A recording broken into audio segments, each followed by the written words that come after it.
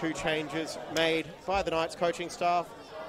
Jaden Walker and Braden Inman coming in and dropping to the bench from last week's 9 0 win over Wynnum Wolves. Teddy Watson gets this edition of the Gold Coast Derby underway. And a fairly healthy crowd is building up as Knights. Kick is lofted in, header for Russell on the follow up, and Martin goes oh so close to opening the scoring. Walker cutting inside. Now, man looking for Klein. He can hit them with the curling effort and an even better save. Carlos Saliadare. Instead, it's Knights winning the ball back and going on the break. Russell shrugging off the challenge of Remmers. He cuts back and goes with the outside of his right foot. More magic from Joel Russell. Opens to scoring in the Gold Coast Derby.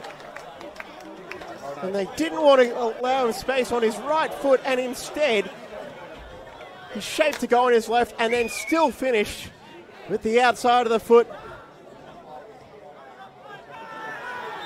And a late challenge there from Diaz, and Reardon took exception to it and into the 18 yard box.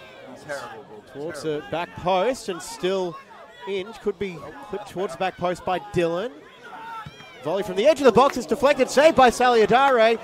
And on the follow up, he takes it off the toe of Guy.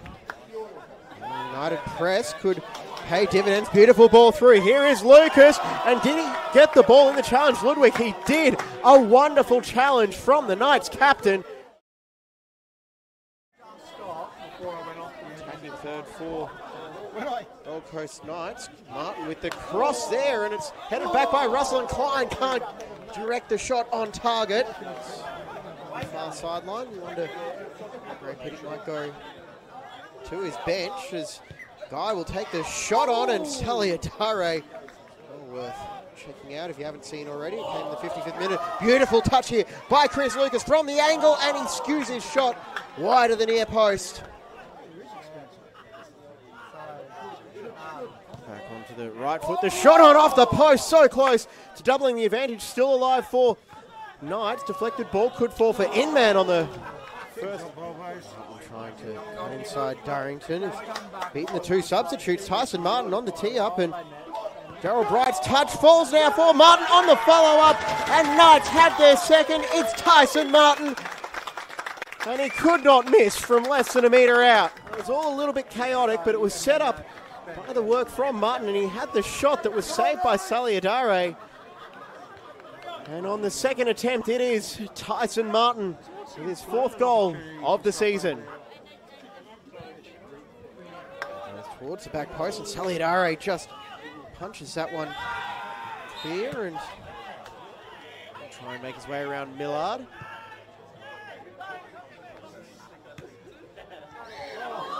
And there's a lifeline for Gold Coast United. It is Fraser Hills. He's been at it all night. And it's game on in the Tallebudgera Valley. 2 1 tonight. It was the endeavour to Paldo in the box. Force a save out of Langdon. And on the follow up, almost up.